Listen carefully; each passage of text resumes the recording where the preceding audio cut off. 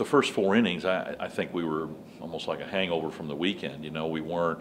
I thought we were just flat. I guess is probably the best way to put it. You know, not a lot of energy, not a lot of enthusiasm. AJ started walking guys, and I think everybody started thinking, well, we're going to go through the same thing we've been going through, and you know, so there were some things said in the in the dugout to try to kick some guys and get them going a little bit and jumpstart them, and and um, you know, and then it then it paid off. I you know we fell behind four to nothing, but you know we got to cut the lead cut in half even at four to two, and I, and I felt like we were sitting in pretty good shape, and I thought Zach Keenan came in and did a good job for his one inning, and and Holcomb I thought was really good again, and I think that got everybody motivated. You know, just when the pitchers came in and kind of solidified things, and and then we got some big hits and, and made some things happen to get it tied uh, and then had the big inning in the eighth to, to kind of push it open. So it was a good come from come from behind win and, and something that we really needed. And we needed to have a big inning like that. That that was huge for us. It's been a while since we've really done that, and you know we just got to do that on the weekend.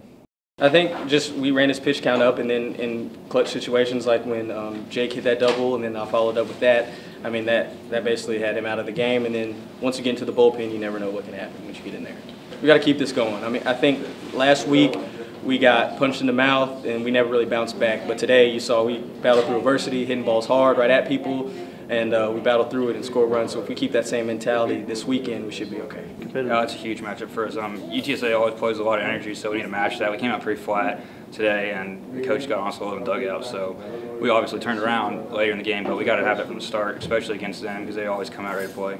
We just got to match it. We got to go out and match what they're doing. We, we can't do what we did the first four innings like we did tonight. We've got to be like we were the last, you know, five innings where we're really focused and having good at bats and, and, and being aggressive with everything that we did. And, and uh, San Antonio's a good team. I mean, everybody in this league is good, but they're ahead of us and in the uh, in the conference race. And uh, Coach Marshall does a great job with them. And we got to go out and again match their intensity. And we've got to execute. And you know, we got to get good starting pitching. That's going to be a big key. It's a big key every weekend, but it's a really a big key going into this one.